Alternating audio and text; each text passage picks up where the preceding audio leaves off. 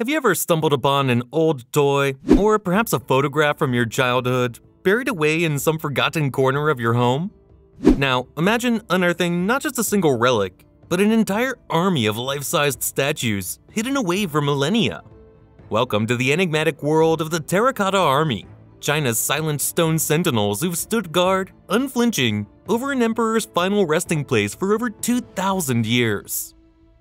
In the spring of 1974, Yang Zhifa, a local farmer, and his brothers were digging a well near Xi'an in China's Shaanxi province.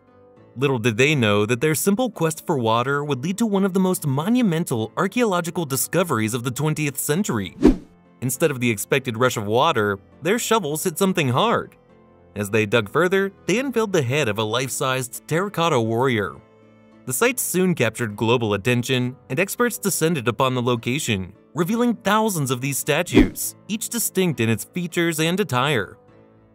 The genius and ambition behind this massive undertaking belonged to China's first emperor, Qin Shi Huang, a ruler who unified the various warring states into a singular Chinese empire in 221 BCE, his reign was characterized by monumental projects like the early Great Wall and a national highway system.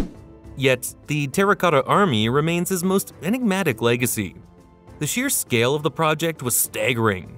An estimated 700,000 workers toiled for almost four decades, crafting each warrior with meticulous detail, from their shoes to their hairstyles, from the expressions on their faces to the weaponry they held. And all of this hidden underground, unseen by anyone until that fateful day in 1974. Before the Terracotta Army, before the legacy as China's first emperor, Qin Shi Huang's life was marked by ambition, innovation, and a determination to transform a fragmented land into a unified nation. Born as Ying Zheng in 259 BCE, he was thrust into the turbulent world of the Warring States period, an era characterized by seven fragmented kingdoms constantly battling for dominance. At the tender age of 13, Ying Zheng ascended the throne of the Qin state after the death of his father. But it wasn't until he turned 38 that he truly changed the course of history. Through a combination of brilliant military strategy, diplomacy, and sheer determination, he managed to conquer all the rival states, effectively ending the Warring States period and establishing the Qin dynasty. With this, Ying Zheng proclaimed himself as Qin Shi Huang, or First Emperor of Qin. But his ambitions didn't stop with mere territorial conquests. Qin Shi Huang was a visionary. He undertook vast infrastructural projects, laying down a network of roads to enhance connectivity and trade. Moreover, he standardized weights, measures, currency, and even the writing system, creating a cohesive sense of identity among the once divided Chinese people. Yet, his rule was not without controversies.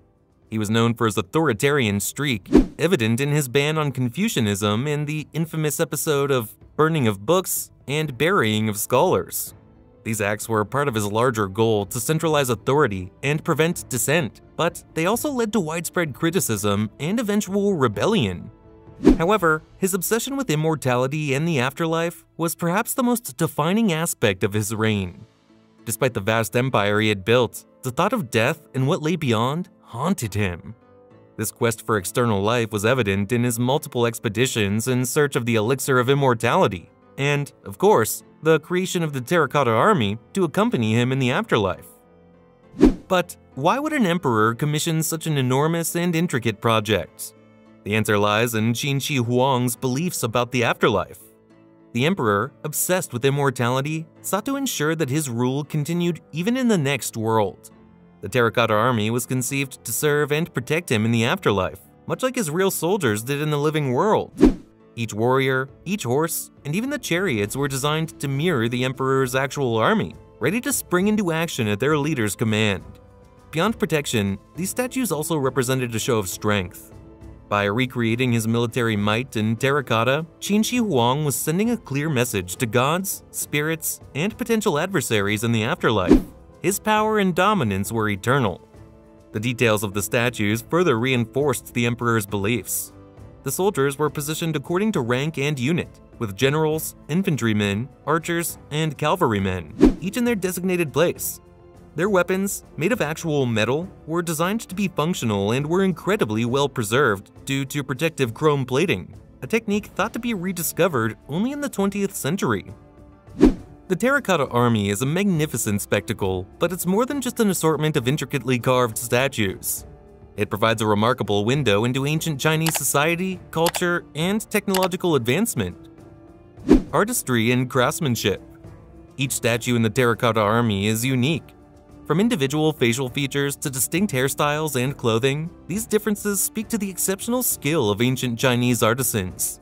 Such intricate detailing not only highlights the importance of individual soldiers in the grand scheme of the Emperor's army, but also showcases the refined craftsmanship and the value placed on artistry in that era. Technological prowess. The real metal weapons, some of which remain sharp even today, reflect the advanced metallurgical knowledge of the time.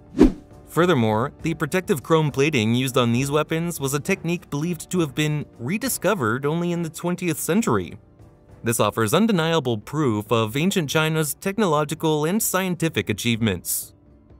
Military Organization The arrangement of the statues according to rank and role gives us insight into the military hierarchy and strategy of the Qin dynasty.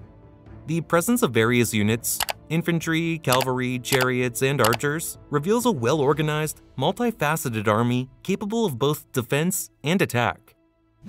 Religious and cultural beliefs Qin Shi Huang's decision to be buried with a clay army signifies the strong beliefs in the afterlife that permeated ancient Chinese thought. It highlights the emperor's desire to maintain his power and influence beyond death, reinforcing the deep-rooted cultural emphasis on honor, legacy, and continuity. 5 Fascinating Facts About the Terracotta Army No two faces alike. Despite there being thousands of statues, each terracotta soldier has a unique face, suggesting they might have been modeled after real soldiers in the Emperor's army. Colorful Warriors Today, the statues appear in an earthy terracotta hue, but originally, they were painted in vibrant colors. Over time, exposure to air caused the paint to flake off, leaving them in their current state. Hidden Traps the mausoleum housing the Terracotta Army was said to contain deadly traps to deter robbers and protect the Emperor's tomb. Legends speak of automated crossbows and pitfalls waiting for unsuspecting intruders. Incomplete excavation.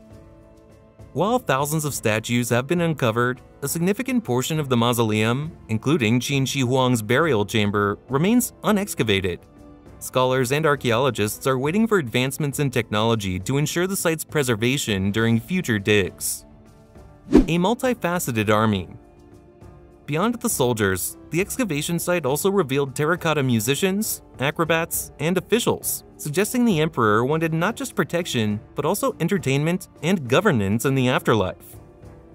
The Terracotta Army stands as an enduring testament to an emperor's ambition and a civilization's grandeur. As we continue to unearth its secrets, it remains a beacon, guiding us into the depths of China's rich past. The allure of the Terracotta Army is timeless. Buried for millennia, these silent guardians continue to captivate us with their grandeur, their mystery, and the stories they whisper of a bygone era. As they stand, frozen in battle formation, they're a powerful reminder of humanity's quest for immortality, of the legacies we hope to leave behind, and the tales we wish to be told centuries after our time. If you've been intrigued by this dive into China's ancient world and want to embark on more such journeys of discovery, don't forget to hit that subscribe button. And hey, if you've got any thoughts or facts to add about the Terracotta Army, drop them in the comments below. Let's keep the conversation going. Remember, every like, comment, and share helps us bring more of these fascinating tales to you. Until the next adventure.